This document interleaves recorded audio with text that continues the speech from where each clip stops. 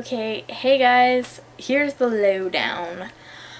My dad is epically awesome and he is building me bars, or helping me build gymnastic bars. We're doing big bar first and then we're gonna do little bar. Yes, I have two.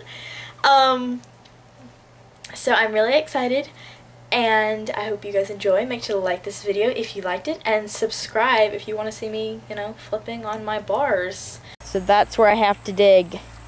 Straight down, two and a half feet. I say let's do this thing.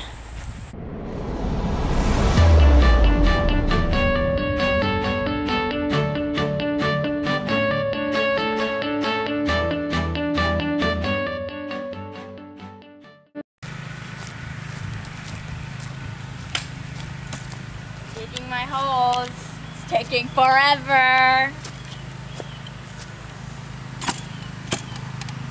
I'm already down two feet though, so that's good.